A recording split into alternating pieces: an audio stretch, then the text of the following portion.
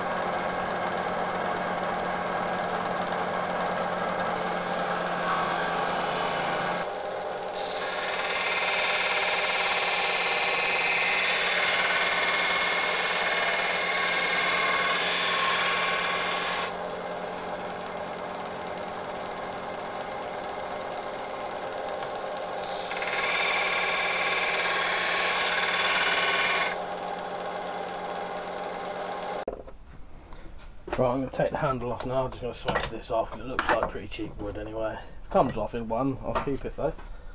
Um, what was I going to say?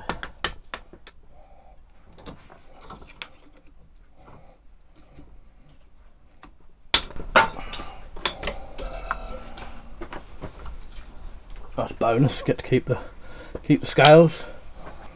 Right, so what I've done so far I've done the very basic edge to the sword. It's not really sharp but it's getting there. I won't sharpen that till the end I just wanted the edge so I know which way I'm working. So the next thing I think I'll do is get all this paint off and I'll probably just use one of these that I bought. So I'll give that a go now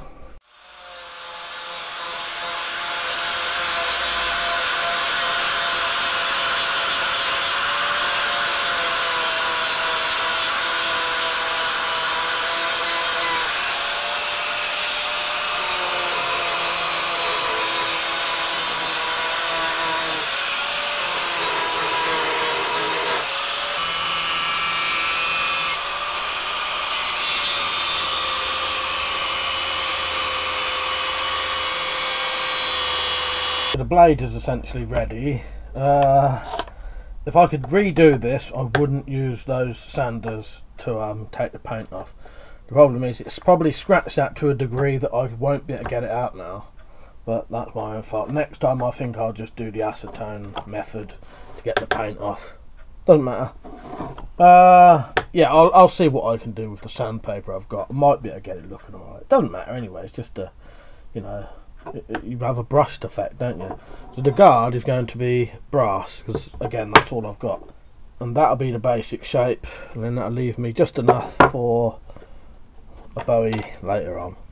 So, the first things I'll do is drill for this slit.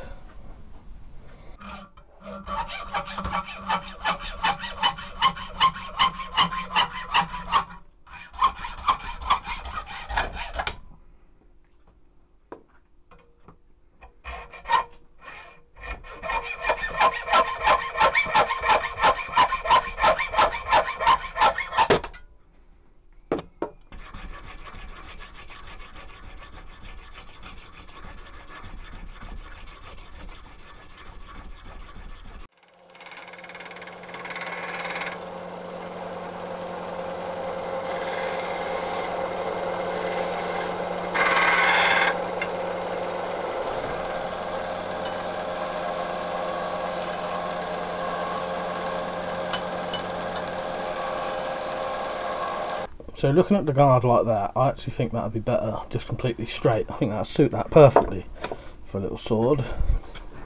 I can still do the handle in a way that I'll know how to hold it one certain way. Because I could do either finger grooves or a little bit at the bottom, just so you know when you're holding it which way to have it. So work on the handle now. Uh, I'm going to see what scales I've got that are long enough, and then I'll work from there. This is quite long handle at the minute. I could always cut some off anyway.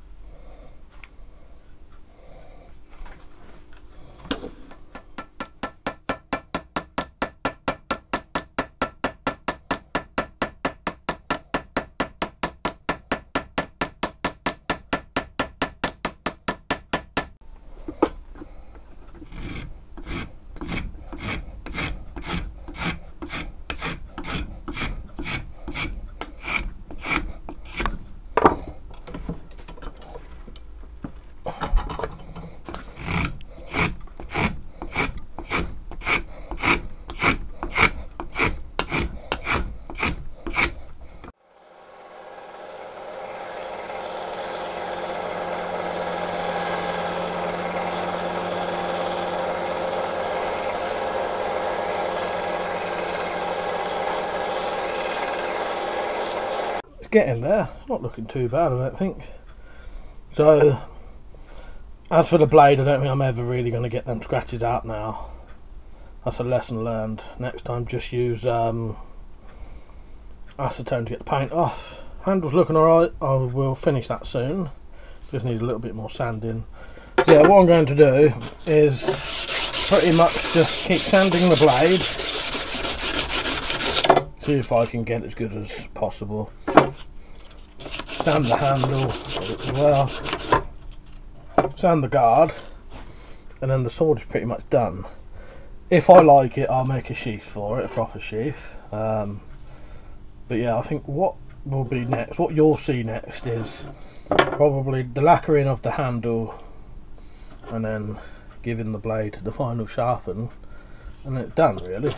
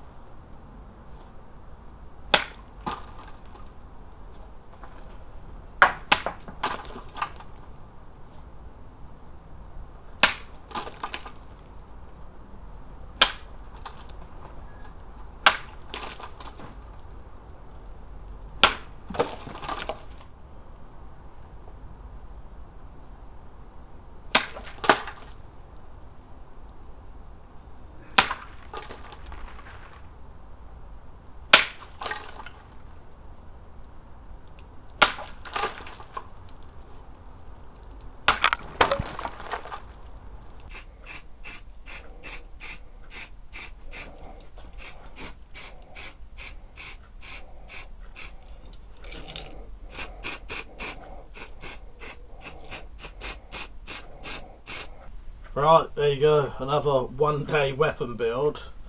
And we've got ourselves there a £10 short sword. And I am overall very happy with that in the end. Um, the only thing I would do differently as I said is I wouldn't use those discs to get the paint off because it's scratched it to, to hell really. But um, yeah the overall looks of this that's nice. And it does perform as you saw I'll do some more tests. I'll do some um, full on, you know, a load of bottle cutting tests and some thrusts. I forgot to do the thrust with this, the stabs, to see what it would come out like. But yeah, I'm really happy with that. And the other thing this will give me the opportunity to do now is a big long sheath or scabbard, leather scabbard, but with one um, sew line. So what you do, you essentially wrap it round and there's one sew line and then you flatten it so I'm going to have a go at doing that for this. Um, might cost me, well I'll put it this way, the sheath will cost me more than the whole bloody sword, but um, you know, you know, doesn't matter does it? So yeah, there it is. Now I think I will do more. Um, they take a lot to grind, get sharp. I tell you, that's probably more work getting the edge decent than anything but it's worth it in the in the long run. So yeah, I'll definitely do another one considering these cost five quid to buy. And the next one, you know, I may try a different style blade. Definitely won't um, sand off the paint, and I could do a different handle and all that. Yeah, I think that came out pretty nice in the end. Don't forget to watch the rest of the video. There'll be some high quality either pictures or videos of this and in a future video I'll do some full-on cutting and the sheath. Alright so there you go. If you want to make yourself a short sword for less than 10 quid that's how to do it. Right I hope you enjoyed the video. Oh thank you to Richard Weaponsmith for giving me the idea of the um, the weed slasher as well